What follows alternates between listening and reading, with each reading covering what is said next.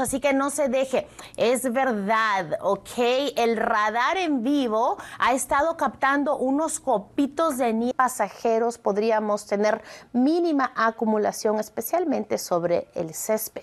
Aquí vemos cómo ese sistema podría estar entrando. Con frío, ni muy, muy, ni tan, tan. O sea, sí está frío, vaya, pero, pero estuvo muy, mucho más frío. Así, ahora se están recuperando algo. Las temperaturas van a estar hoy posiblemente alcanzando máximas en los mediados 40. Estos días con temperaturas templadas en diciembre están contaditos.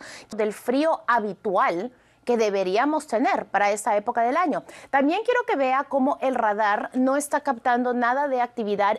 Buenos días, ¿qué nos tienes?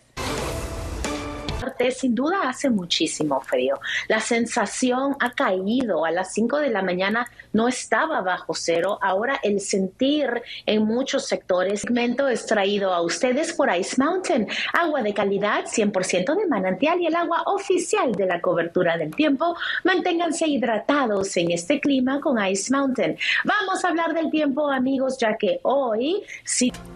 Y ahora tocó el momento de hablar sobre las temperaturas. Esta mañana, este viernes, estamos con estas temperaturas. El sentir es de 4 en Chicago, 7 en Cicero.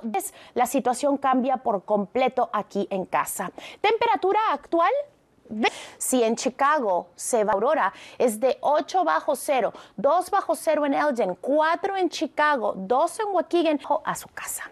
Temperatura actual, 33 en Chicago a 30 grados. Vamos a activar su radar a futuro para que usted vea lo que va a ocurrir.